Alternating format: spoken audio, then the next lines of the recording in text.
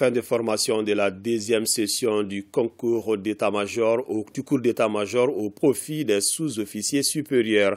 La formation a pour but de renforcer la capacité de commandement et de leadership de ces sous-officiers. La cérémonie était présidée par le chef d'état-major général adjoint des armées, le général de brigade Ousmane Ouele. Commentaire de Valentin Roger Diallo. Ils sont au total 19 sous-officiers supérieurs à avoir suivi cette formation. La formation avait pour but de renforcer leur capacité de commandement et leur leadership. Durant un mois et demi, ils ont été formés sur l'aptitude et la technique de commandement, la connaissance générale ainsi que le travail en poste de commandement. Le major de la promotion est l'adjudant-chef Daouda Doumbia de la garde nationale avec une moyenne de 17,32 sur 20.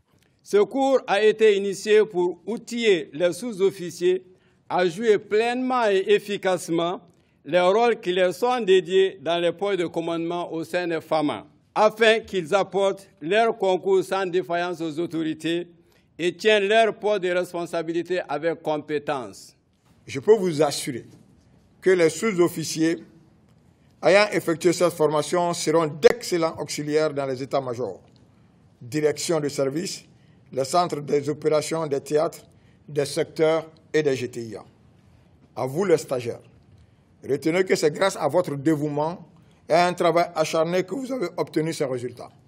Aussi, je vous félicite et vous exhorte à continuer dans ce sens. Cette deuxième session de formation s'inscrit dans le cadre de la directive interarmée annuelle de préparation opérationnelle, a indiqué le chef d'état-major général adjoint des armées, le général de brigade Ousmane Ouele.